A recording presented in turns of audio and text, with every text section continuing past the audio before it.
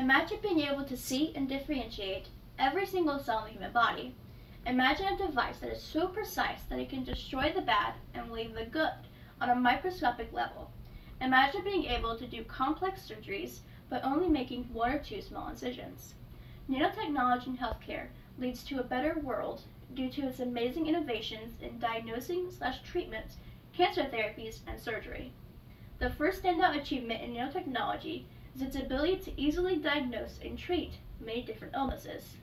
According to the International Bar Association, nanomaterials makes it possible to improve diagnosis by identifying targets at the nanoscale that were previously unreachable and to improve treatment by increasing the effectiveness of therapeutic agents by enclosing them in nano-objects. Theoretically, this means that we could possibly detect an infection not when symptoms start to show, but when the very first cell is invaded. We could enclose the antibiotics so that the infection fighting medicine gets released and activated directly at the center of the problem for maximum effectiveness. Infections are just one example of an illness nanotechnology can help. Our UC Riverside determined the key advantage of the nanotech route are scale, flexibility, and precision, all of which add up to better diagnoses and treatments.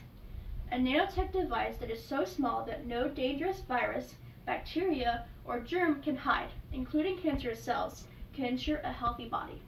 Which leads me to my next benefit of nanotechnology in healthcare. Nanotechnology can give us a great success, great and successful advantage in the fight against cancer.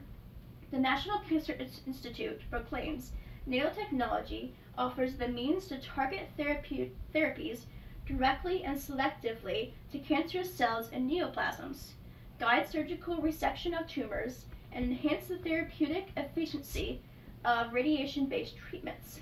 Nanotech devices can, can have the ability to detect, through monitoring, the exact moment a tumor becomes malignant, and proceed to help surgeons destroy the cancerous tissue with precision, leaving the healthy cells unaffected. When it comes to radiation treatment, the National Library of Medicine illustrates these medical tools allow for the self-assembly of nanostructures and molecules that ultimately enhance drug targeting and reduce the toxic toxicity associated with these drugs.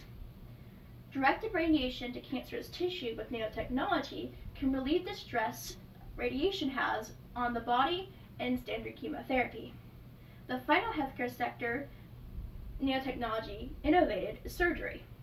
The European Journal of Medical Research pointed out that humans cannot do precision surgery within cells because their scalpels are millions of times more significant than the single cell. However, a surgeon operating a nanobot under computer control could. Surgeries with implants such as hip or knee replacement could have a false bone that is better accepted and better fitted to their body with nanotechnology, all of which can be done through minimum invasion and remotely due to the surgeon's ability to control the nanotechnology through a computer.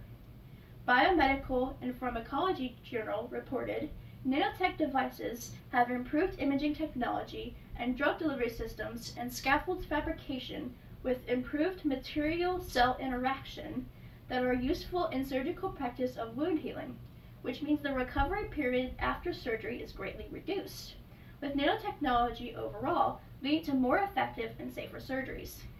In conclusion, nanotechnology in healthcare betters the world by creating more efficient diagnoses slash treatments making strides in, help, in the helping to fight cancer and increasing the effectiveness of surgeries. A microscopic device that can better the lives of billions of people through healthcare seems like something that only exists in movies. But thanks to modern technology, the fantasy of nanotechnology has become our reality. Thank you.